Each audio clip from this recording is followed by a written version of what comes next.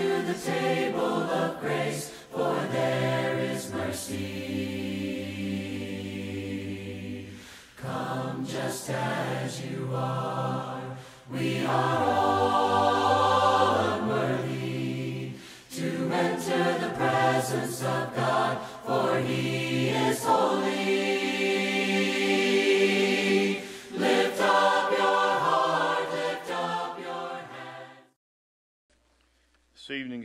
is from Psalms 12, verses 1 and 2. Save, O Lord, for the godly one is gone, for the faithful have vanished from among the children of man. Everyone utters lies to his neighbor. With flattering lips and a double heart they speak. Let's pray. Almighty Father, we're so very glad that you have left us your word. And we know that this study of Psalms really speaks to the deepest parts of our heart. That so many people love Psalms because of, of how it expresses the very things, the groanings that go on within us that we can't express in words, but that your Spirit searches and knows and communicates to you, Lord. You know us intimately and you help us. This is a corporate lament that we look at tonight, Lord, and I pray that you would help us to understand that as a church, we uh, experience some of the same things that David experiences as the nation of Israel experienced in the Old Testament.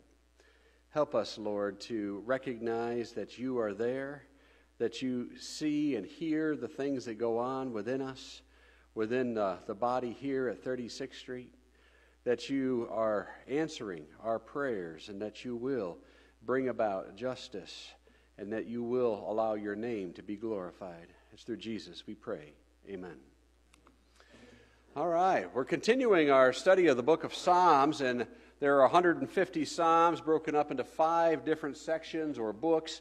We are in Psalm 12, so this is we're, we're, we're gaining ground, but it's slow, slow and going here. But there's a lot of good stuff in each and every single one of these Psalms. Uh, tonight, uh, Psalm 12 is a lament. We've seen several laments before as we've come across uh, these, but this one is a corporate lament, meaning that it's the entire body uh, of Israel that is crying out, and David uh, writing these things down, giving voice to the things that uh, Israel is feeling right now. And I think as we start into this psalm, we're going to see that things haven't changed a whole lot from the time that this psalm was written to today as there's a lot of things going on with us as well. It is a, uh, considered a Psalm of David, one of the 73 of the 150 that are attributed to David. and so I want to start out by this idea here. When we're lamenting, oftentimes we think of ourselves as, as being alone all by ourselves. When you feel surrounded by enemies, uh, perhaps uh, you felt that way, in which the world seems to be pressing in on you. Uh, when you feel alone and are surrounded by enemies, we need God. And when we're talking about uh, the church body as a whole, we definitely can feel surrounded by enemies when we look out around the culture, we listen to the nightly news, we see a lot of things that are going on that we just shake our heads at and say, I can't believe God is allowing that wickedness to continue and prosper. Elijah felt that way. As we get into Elijah's story here a little bit, that runs parallel, I think, to some of the events that go on in Psalm 12, I think we can identify not only with Elijah, but see ourselves in this as well. This is uh, t- talking about an individual, yes, David expressing this, but he is expressing it for the entire body of Israel, and we might make the application today of the church. And so the theme that we're going to be looking at today is how can the church survive? For the faithful have vanished from among the children of man. This is a very short psalm. There's only eight verses to it. And the first section of the lesson tonight takes in the first half of those verses. So we're going to be uh, taking a look here at the very first half or beginning of this psalm. And I want you to hear how alone David feels, how alone the nation of Israel feels altogether when they, in the world that they are existing in at the time that this psalm is written, they are besieged by enemies all around, much like the Lord's church today. Save, O Lord, for the godly one is gone, for the faithful have vanished from among the children of man. Everyone utters lies to his neighbor. With flattering lips and a double heart they speak. May the Lord cut off all flattering lips, the tongue that makes great boasts. Those who say, With our tongue we will prevail, our lips are with us, who is master over us? I tell you, the world can sound pretty loud at times. And when they are voicing that defiance, and here we are within the walls of our church building, just trying to worship God and be pleasing in His sight. In the lives that we lead, it can seem like as we look around and we see a lot of empty pews, and we wonder what are people doing on a Sunday evening except coming here to worship God? Why aren't they here? Where have the faithful gone? It seems the faithful have vanished from the children of man. What is it that we can do against such defiance against God. I know I felt like this in Plattsburgh quite a bit. Plattsburgh has always been a transient uh, uh, uh, congregation as it came in in 1952 with the Air Force Base, and members of the church who were members of the Air Force began to meet and eventually built a building and so forth. And it seems like it was always a revolving door of airmen through the Plattsburgh Air Force Base. And uh, so the leadership really had a hard time in trying to get established and make efforts out into the local community. And I know after I took over the work there and the Plattsburgh Air Force Base uh, closed, uh, just a couple of years later, it was really, really difficult. And we were wondering, what are we going to do? And then I'd study with somebody and it seems like I invested my heart and soul and everything into this person. I had so many hours invested working with this person, and one little thing would happen, and he'd say, I'm not coming to church anymore. Oh, it just ripped my heart out each and every time, especially in a small congregation. And I asked myself many, many times over the 23 years that I worked in Plattsburgh, where have the faithful gone? The faithful have vanished from among the children of man. Where can I find people who are truly interested in wanting to obey the gospel and live faithfully before God? I think David felt this way. I think that some of us have felt this way as we look around and see the struggles that go on. Quite a few centuries after David writes this psalm, uh, we see that when the captives are returning from the captivity in Babylon, uh, Micah is writing uh, these verses here in chapter 7 and verse 2 of Micah, and it sounds very similar to what David wrote several hundred years before. The godly has perished from the earth, and there is no one upright among mankind. And so I don't think that this feeling uh, is something that is unique to any one time period, but I think it's a, a human condition that we tend to feel very alone when we are trying to live differently uh, on that narrow path that leads to salvation, and we see the wide road leading to destruction, and so many are on it all around us. We can see here that David is speaking about the flattering lips and a double heart that these people seem to have. Solomon, writing Proverbs, would say in chapter 26, verse 28 a lying tongue hates its victims, and a flattering mouth works ruin. And then Paul in the New Testament, 1 Thessalonians chapter 2, says, For our appeal does not spring from error or impurity or any attempt to deceive, but just as we have been approved by God to be entrusted with the gospel, so we speak not to please man, but to please God who tests our hearts. For we never came with words of flattery, as you know, nor with a pretext for greed. God is witness. And so it even sounds like Paul was struggling here trying to find these faithful in Thessalonica that he could speak to, and he's appealing to them, saying, Look, we're trying to live pleasing to God, not man. We don't act like everyone else around you who is speaking with these flattering lips, giving you what you want to hear. And Elijah faced the same thing. You might remember Elijah had this great thing going on in 1 Kings chapter 18. He had assembled all the prophets of Baal and all the prophets of Asherah. And he had this big showdown, this big contest up there on Mount Carmel. And, it, and God showed himself to be God with fire and came down and consumed not just the, the sacrifice on the altar, but the altar itself. And then all the water that had been poured on that had filled this ditch that Elijah had dug around the altar. And, and uh, he was able to defeat the 450 prophets of Baal and the 400 prophets of Asherah. And they were Jezebel's prophets. And Jezebel, the wicked queen of, of King Ahab in the north, northern kingdom there, she's a little upset about this and gives a death threat against Elijah's life. And Elijah runs. In 1 Kings chapter 19, it says Ahab told Jezebel all that Elijah had done, how he had killed all the prophets with a sword. Then Jezebel sent a messenger to Elijah, saying, So may the gods do to me, and more also, if I do not make your life as the life of one of them by this time tomorrow. Then he was afraid, and he arose and ran for his life and left his servant there, but he himself went a day's journey into the wilderness and came and sat down under a broom tree. Elijah feels alone. He had just had this wonderful experience where God showed himself to be God through his work.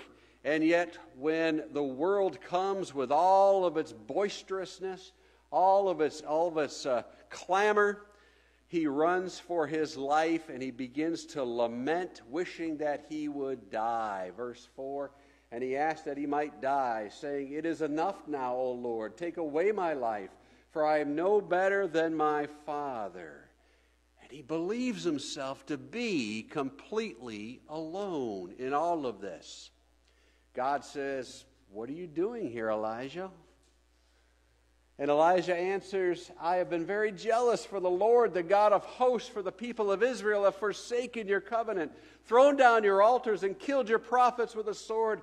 And I, even I only, am left, and they seek my life to take it away. Have we ever felt that? Have we ever felt like we're the only ones trying to live for God? And wondering how is it that we can possibly survive. The poor are plundered, the needy groan, and God says, I will now arise. You see, God hears our prayers, He hears our laments, He hears the deepest groanings of our spirit to Him, His own spirit helping to, uh, that to be understood by Him. And so we can look in, in, verses 5 through 7 of Psalm 12 and see what God does here. Because the poor are plundered, because the needy groan, I will now arise, says the Lord. I will place him in the safety for which he longs. The words of the Lord are pure words, like silver refined in a furnace on the ground, purified seven times. You, O Lord, will keep them. You will guard us from this generation forever. You can almost hear the relief in David's, the psalmist's voice here as he sees that God does indeed hear him, hears his spirit, and the lament that is going on within. And he seeks God as his refuge. God is our refuge and strength. Psalm 46 and verse 1 will go on to say in a much later study a very present help in trouble. The words of the Lord are pure words, like silver refined in a furnace, we read there in Psalm 12. That is a very hot fire indeed. And a fire that hot is going to uh, take away any of the impurities, any of the dross that might be within that gold And it's refined not just once, but seven times over. God's Word is something that is so pure that this is the closest thing on earth that God could use to help us understand how pure His words are. And yet, the comparison, I'm sure, is up here. And God says to us in Hebrews 10 let us hold fast the confession of our hope without wavering, for He who promised is faithful. There is hope there for the groanings of our spirit that God Himself hears and sees what is going on to us, and it gets angry and arises. We need to just hold fast. Now, for Elijah, the world was very loud.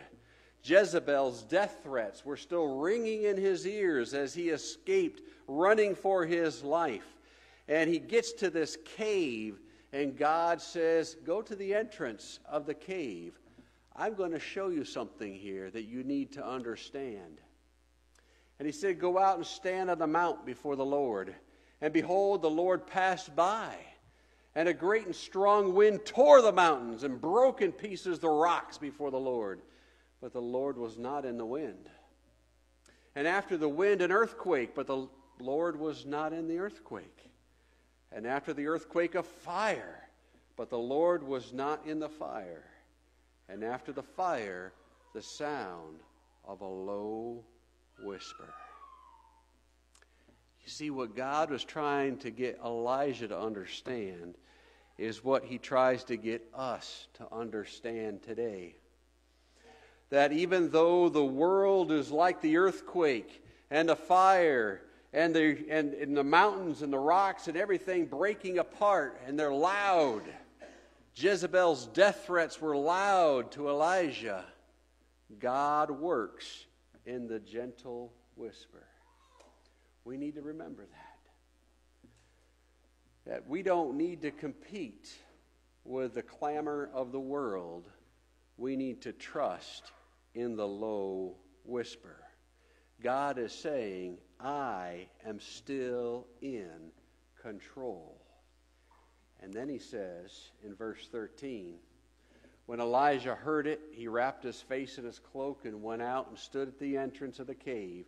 And behold, there came a voice to him and said, What are you doing here, Elijah? We find ourselves, like Elijah, in places that we shouldn't be we find ourselves listening to the clamor of the world and it affects us. We find ourselves in a similar situation where our soul is lamenting, where we look around and say, What will become of 36th Street as a corporate lament? How can it withstand such reckless hate of the world all around us, with the rocks breaking in pieces and the fire raging up the mountainside? And God says, I'm still in control. That's what we need to know. That God indeed helps the righteous. Another psalm and a study to come in this series. When the righteous cry for help, the Lord hears and delivers them out of all their troubles.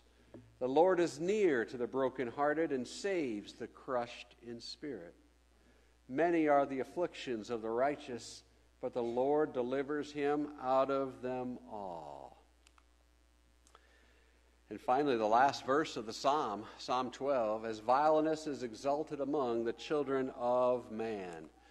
This psalm ends in a very odd note in a lot of ways. We would expect God to swoop down and fix all the wrongs, make them all right. Take all those wicked people in David's life and serve justice on them and, and lay out some rose petals for the rest of David's life that he might just walk in it. That Israel as a nation would just walk in peace and tranquility for the rest of their existence. And we as the church, I think, expect to go day to day, week to week, month to month, thinking that things are just going to go very, very well for us. But God whispers, I am in control. And then he says this On every side the wicked prowl, as vileness is exalted among the children of man. And then the psalm ends. God is leaving the wicked with us.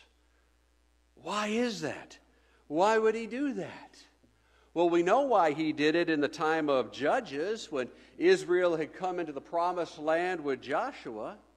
We can read there how the Israelites did not obey God. And God was leaving the nations around them as thorns in their sides, in their flesh, that the, He might test them to see if indeed they were going to be obedient to Him. But is this why He does this with us? God has His own reasons, doesn't He? God can do what He wants for His own purposes, and we don't necessarily need to understand them. But we do see what's written here in Colossians chapter 2. If with Christ you died to the elemental spirits of the world, why, as if you were still alive in the world, do you submit to its regulations? Do not handle, do not taste, do not touch, according to human precepts and teachings. These have indeed an appearance of wisdom and promoting self made religion and asceticism and severity to the body, but they are of no value in stopping the indulgence of the flesh. Perhaps it is that God is leaving some of these things around to make sure that we stay faithful to Him and don't give up and don't drift back into the world from which we came, but live as a sanctified people before Him. What was the answer in Elijah's day? God says, You've got to know that I am in control. And then he says to Elijah, I've got some work for you to do. Elijah maybe didn't feel like he was in any position to do some work at that particular moment. His emotional state, the lament of his soul, everything was going on. And God says, I've just shown you that I've got this. Now I've got work for you to do. He says, Go, return on your way to the wilderness of Damascus. And when you arrive, you shall anoint Hazael to be king over Syria. And Jehu you shall anoint to be king over Israel. And Elisha you shall anoint to be prophet in your place. And then he ends with this thought in verse 18.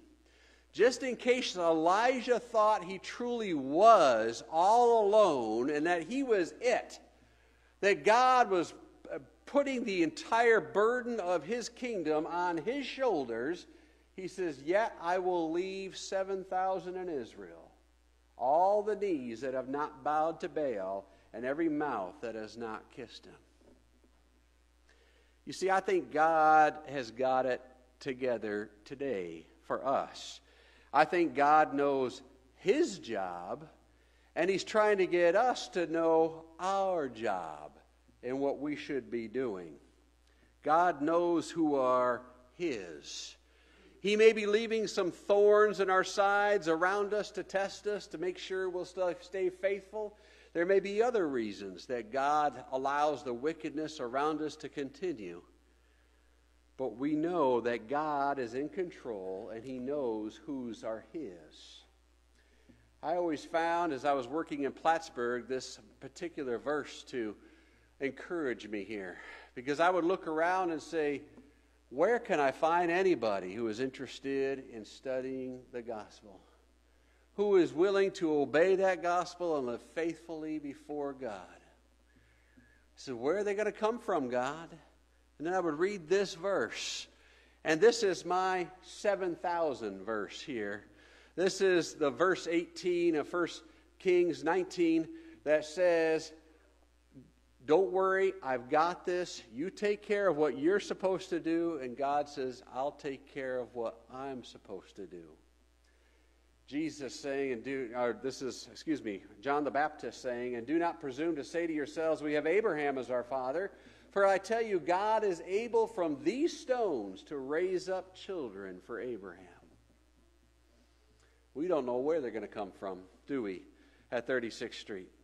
We have no idea in 10, 15 years from now who will be the leaders, who will be the families, where the youth will come from, or how many numbers will be here.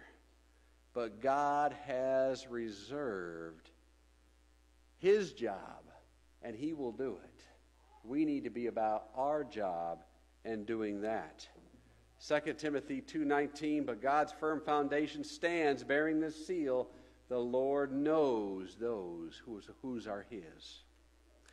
And finally Psalm 145:20 the Lord preserves all who love him but all the wicked he will destroy. You see that's how we want Psalm 8 or Psalm 12 to end in verse 8. But that's not how it ends. But God will bring about that justice. But for now, he needs to leave the wicked with us for his own purposes. In closing, God exalts the good and he punishes the wicked. Right now, it seems like the faithful has all vanished, and vileness is certainly exalted as we look all around us. But perhaps God is testing for you to stay faithful to him. How are you doing with that? If you have never obeyed the gospel, this is an opportunity to do so. And if you have, this is an opportunity to come forward as we stand and sing a song of encouragement to help have your brothers and sisters help you. And come to the table